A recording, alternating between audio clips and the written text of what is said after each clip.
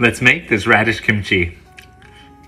This side dish is super flavorful and crunchy. You're gonna go ahead and salt it heavily and remove any moisture, set it aside. Go ahead and chop your green onions, smash your garlic, chop your jalapenos, and once the radish is pliable, remove the water and drain it. Give it a nice rinse to remove any excess salt. Season the radish with two different types of gochugaru, fish sauce, anchovy sauce, sweetener, rice vinegar, garlic, jalapenos, scallions, sesame oil, sesame seeds, and give it a nice mix. Serve it up as a side dish and enjoy.